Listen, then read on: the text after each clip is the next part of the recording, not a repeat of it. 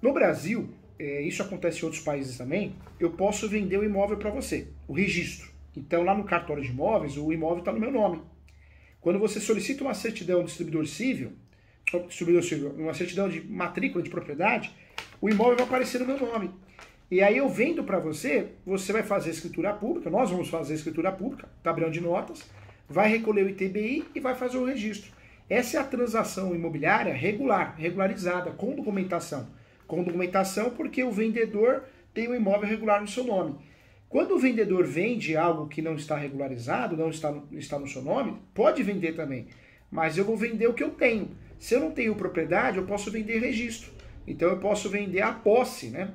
É, se eu não tenho propriedade, eu posso vender a posse. A posse é, são direitos possessórios. Tem, tem um enunciado no Brasil, que é o enunciado 492, da Quinta Jornada de Direito Civil. O que, que ele diz, esse enunciado, né, que é um congresso? Ele diz que a posse é um direito sui generis.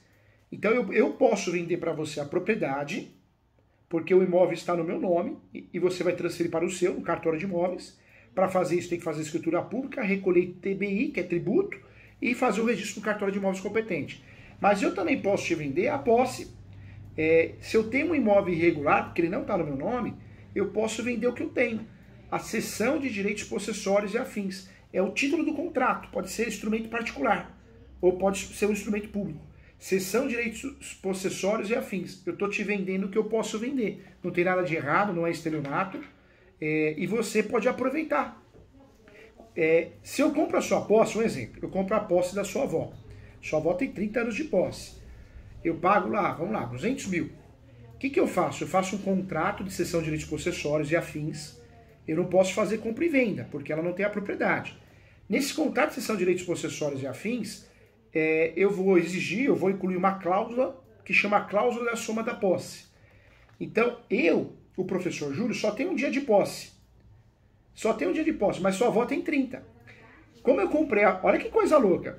Como eu comprei a posse dela, o direito brasileiro permite isso. Eu posso fazer os capião no meu nome, no meu nome. Por quê? Porque eu tenho um dia de posse, mas eu comprei a posse da sua avó. Então eu uso os 30 anos de posse dela, uso ao meu favor, entendeu? E eu explico isso pro juiz, pro juiz, pra juíza, pro poder judiciário, entendeu?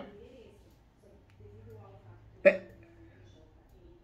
Tem, tem, tem sim, tem sim.